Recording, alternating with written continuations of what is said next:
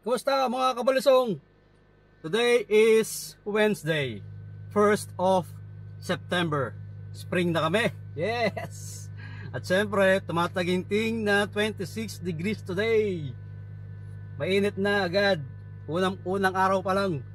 Mainit na kagad ng panahon namin. Grabe. Siguro mo, dire-diretso na to. Pero hindi, baka mag-uulan pa rin. Well anyway, um, kumusta ba kayo? Kumusta, kumusta? Kumusta ba ang araw linggo ninyo? Nakaraang linggo? Tayo okay naman ano? Kaya lang, uh, siyempre busy tayo sa trabaho.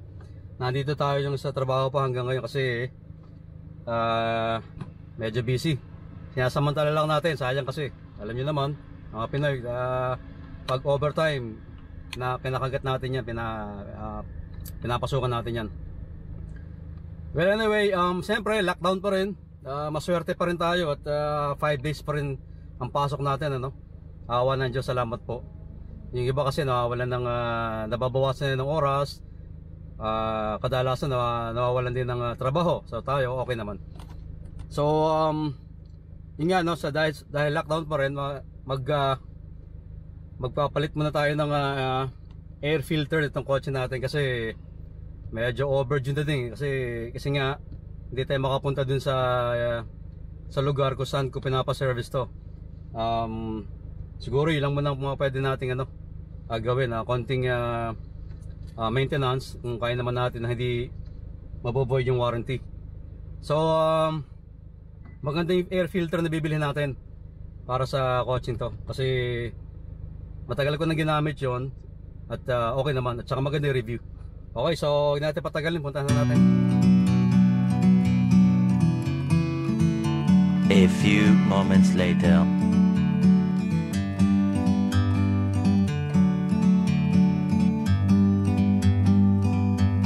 Like a bird on a tree.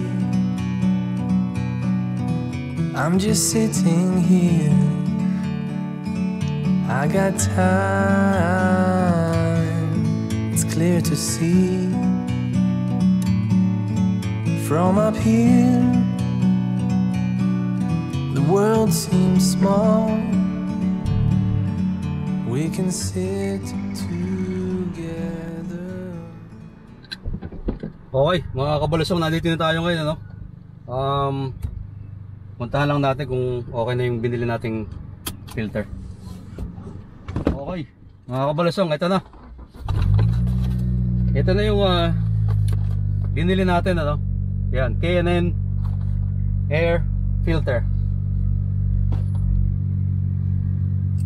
Um Maganda kasi ito mga kabilusong ano, uh, sasabihin ko sa inyo kung bakit ko binili yan. Mamaya, uh, kabit natin sa kotse pagdating ng bahay at paliliwanag ko na sa inyo kung bakit ko nagustuhan ang uh, air filter na to.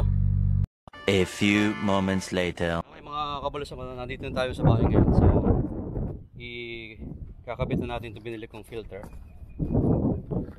ito yan so binili ko sa mga kabalusong ano kasi high flow air filter. Itong brand na to uh, top quality to. Kilala kilala to sa mga pagdating sa filter. So um, kakabit natin siya ngayon.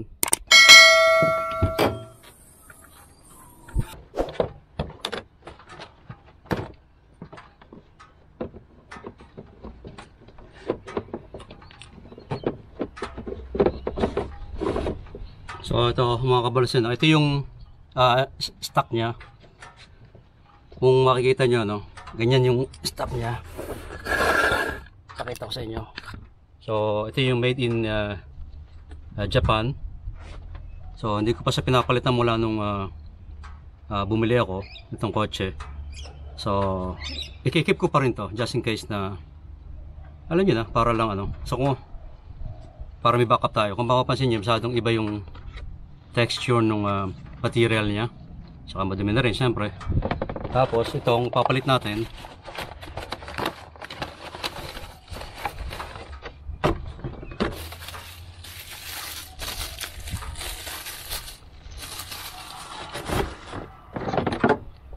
So ayan. Kung mapapansin nyo ang laki ng difference itong dalawa. Okay? So this one made in, made in uh, USA. Itong uh, brand um, K&N air filter. So ito, uh, kabalos yung ano, kung uh, makita nyo yung sa akin kung bakit ako nagpalit. Kasi this one is uh, washable, number one. Reusable, so yun yung ano, washable, reusable. And 9 to 10 years bago ka magpalit ulit ng ganito. Okay, so ang ginagawa ko dito every 6 months meron siyang special cleaning uh, agent para panghugas mo rito. Then pwede mo siyang i-hose after para ma-drain. Make sure na tuyo kagad siya bago mo ilagay dito sa sa compartment na air filter compartment nyo to. kasi otherwise pag nilagay nyo ng basayan tapos uh, umalis kayo siyempre yung mga alikabok kakapit pa rin. So sayang lang yung paghuhugas so okay. So maganda to. Ayan. Kabit natin. Yun lang. Napakasimple lang mga kabalisong ano? Yan. That's it. So ito kaya sinabi ko kanina tatago lang natin.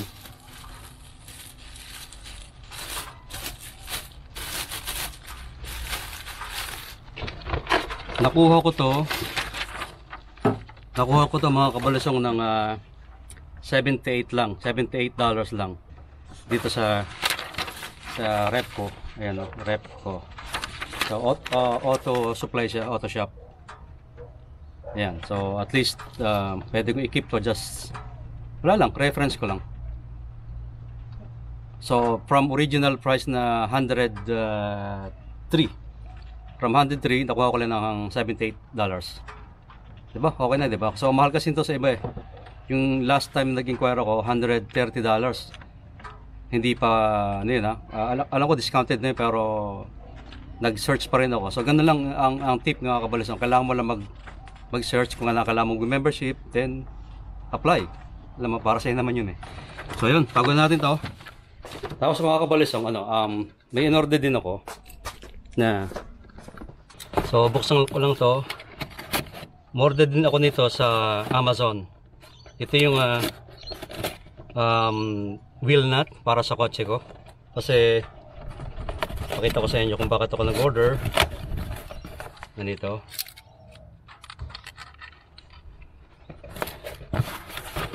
So ito yung brand Circuit Performance. Buksan natin.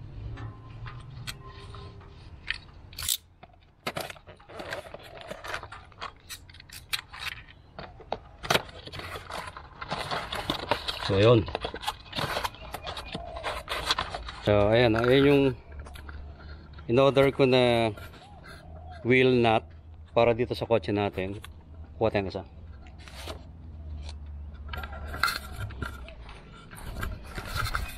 Kasi mga kabalaso kung mapapansin nyo, no? ito kasi, ano yan eh, uh, aluminium. Ito. So, itong binili ko is forged steel.